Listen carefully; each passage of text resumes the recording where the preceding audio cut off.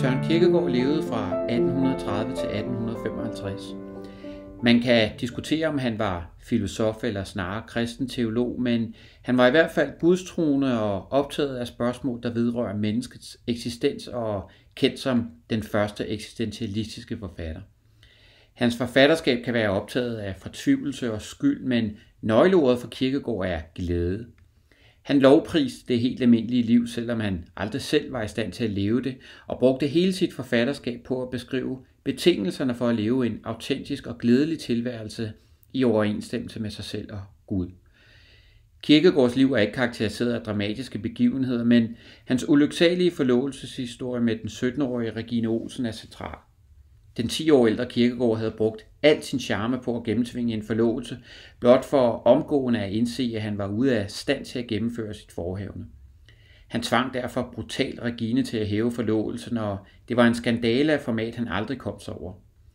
Men den blev også kimen til hans forfatterskab, der gjorde ham til en af de største filosofer nogensinde, og en af de få, der virkelig tænkte nyt. Det er vilkåret for mennesket, siger Kierkegaard, at nok er det født som et menneske, men det betyder blot, at det er født som en mulighed for at blive et menneske.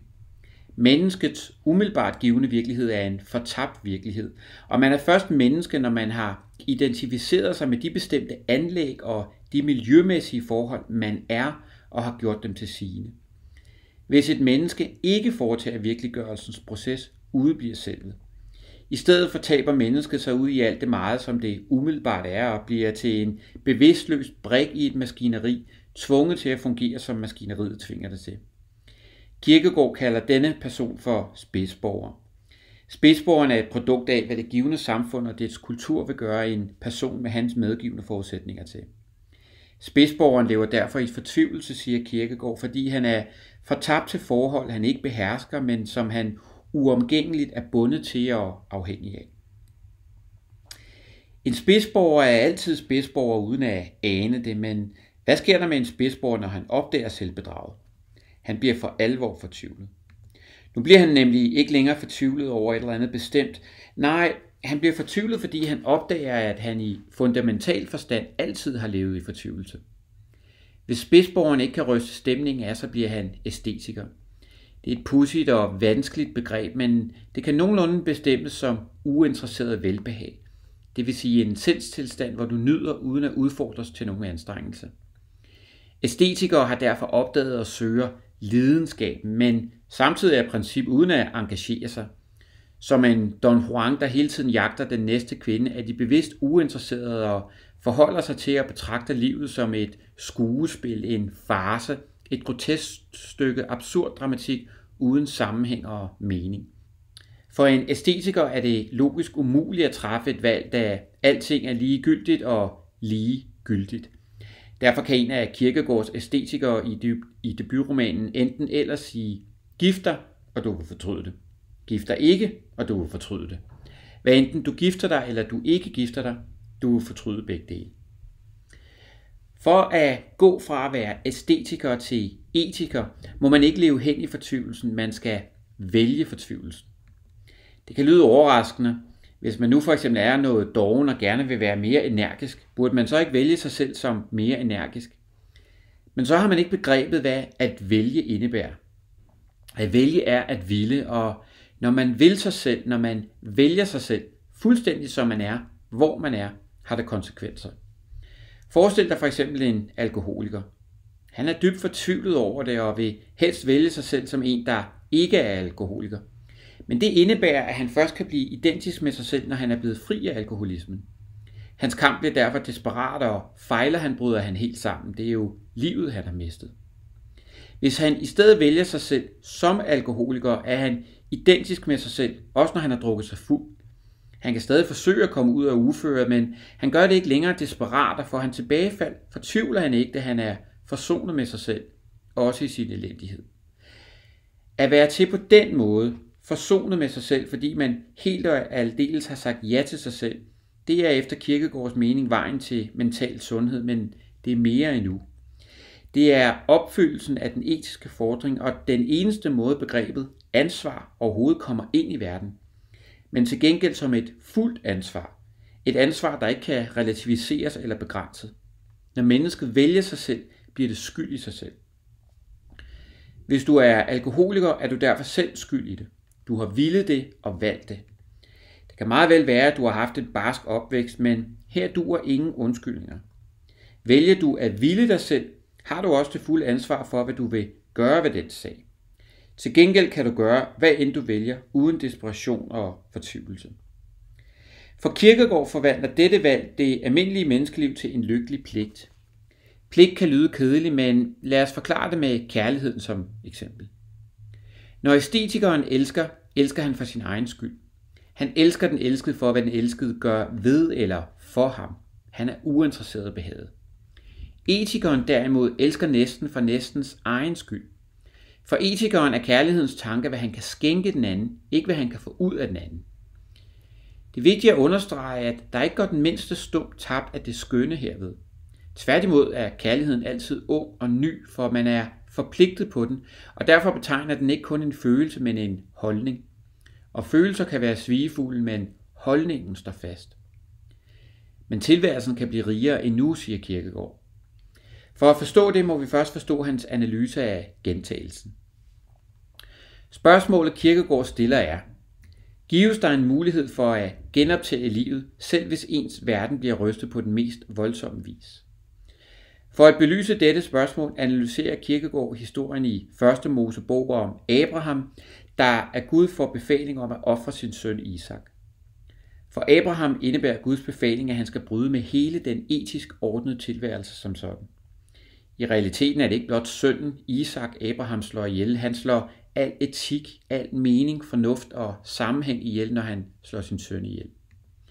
Hvis Abrahams tilværelse skal reddes, skal der derfor kunne peges på et formål, der retfærdiggør et brud med et etisk bud. Kirkegaard kalder det en teleologisk suspension af det etiske. Men hvilket formål kan retfærdiggøre, at man suspenderer et etisk bud? Det kan kun et religiøst formål. Det kan Gud. Men det rejser et nyt spørgsmål. Kan man leve autentisk og i enhed med et etisk ordnet samfund, når Gud og det religiøse kan suspendere, hvad der gælder i et etisk ordnet samfund? Ja, det kan man, siger Kirkegaard. Nøgleordet er tro. Troen betyder, at Abraham først foretager resignationens bevægelse, da Gud fordrer Isak af ham, bøjer han sig straks, opgiver Isak og resignerer uendeligt på ham. Men herefter foretager Abraham, der også er kendt som troens fader, den modsatte bevægelse. Han tror, og i troen får Abraham både Isak og hele tilværelsen igen. Kirkegårds fiktive forfatter, Johannes de Silentio, der laver analysen, indrømmer, at han ikke forstår det, men rationelt kan han fastslå, at tro kun er tro, når den er tro i kraft af det absurde. Troen befinder sig på den anden side af al rationalitet og forstandighed. Troen er det, der tager over, når fornuften har nået sin grænse. Ellers vil det ikke være tro. Der er derfor ingen rationalitet i tro. Vi håber på Gud, og Gud er det ubegribelige, af hvem man kan vente sig det uventede. Og derved er det religiøse angivet som en ny, højere, særskilt dimension i tilværelsen. Men hvordan gå fra det etiske til det religiøse? At leve religiøst indebærer, at man både må leve i et religiøst forhold til verden og i et religiøst forhold til Gud. At leve religiøst i forholdet til verden er at vælge og modtage sig selv og samfundet, præcis som individ og samfund er at realisere sit væsen som en enhed af individ og samfund. Eller sagt kort, du må vælge og ville, hvad du er, hvor du er. Forholdet til Gud er af en helt anden karakter. Det religiøse er en ny lidenskab, troen i kraft af det absurde, den uendelige kærlighed sletter ret til Gud som mulighed. Og her har vi det igen lidenskaben. Det centrale aspekt i tilværelsen. For æstetikeren var lidenskaben alle steder og ingen steder. For etikeren var lidenskaben rettet mod det andet menneske, men for den religiøse har lidenskaben fundet sin endelige genstand. Gud. Og hvordan kommer det til udtryk? Det kan ikke tage sig nogen konkret skikkelse, men det kommer til syne overalt i den måde, på hvilket mennesket forholder sig til verden. Det er det, der er pointen. Tilværelsens indhold har ikke ændret sig det mindste, men holdningen til indholdet er radikalt ny, og det er i den holdningsændring, det religiøse består.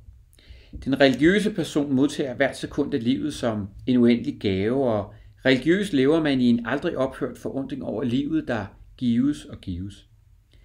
Det betyder ikke, at det religiøse får bekymringerne og lidelserne i tilværelsen til at forsvinde.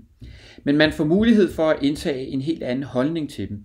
Livet, sådan som det er for mig nu, er skænket mig af Gud, og derfor gælder også den dom, at det er absolut og umodificeret godt.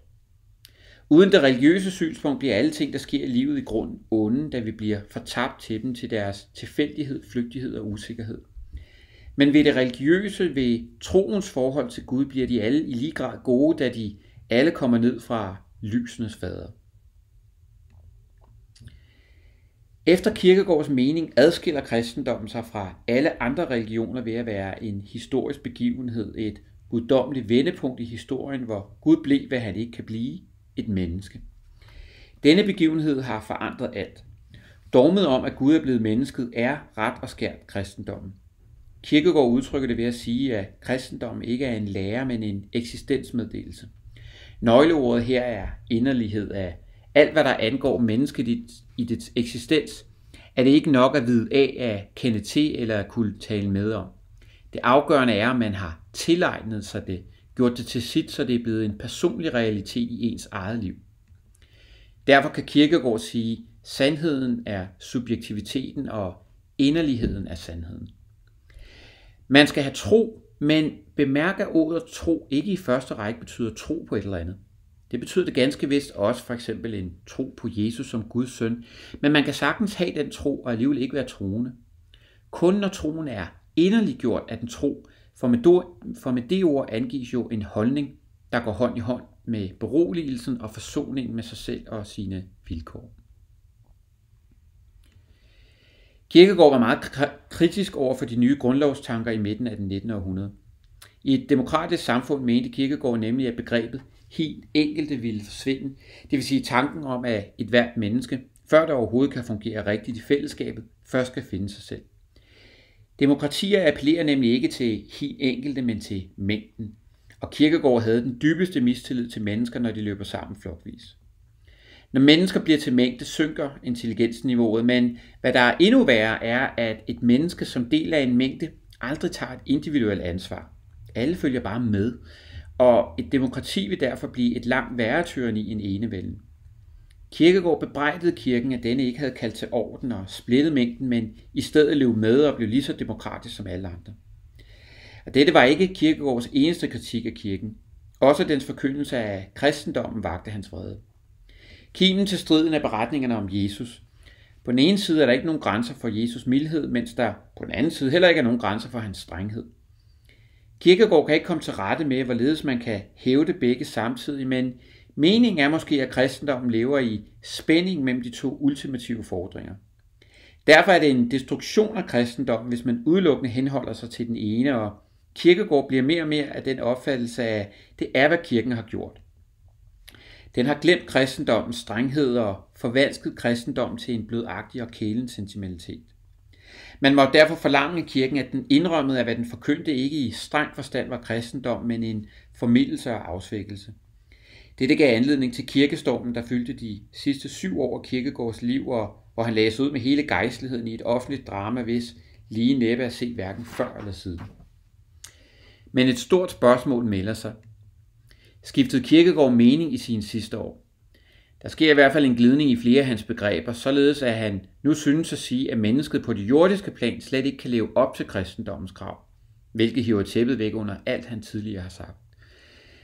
Man kan kun gisne om det, men måske var indholdet af hans sidste skrifter ment som en tese, som han siden ville opstille en modtese til. I spænding mellem disse skulle sandhedens syntese så tone frem. Inden han kunne opstille en modtese, faldt han imidlertid op på gaden og døde på hospitalet 11. november 1855.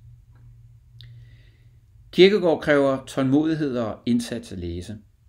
Til gengæld tilbyder hans tanker masser af inspiration, uanset om man er gudstroende eller ej.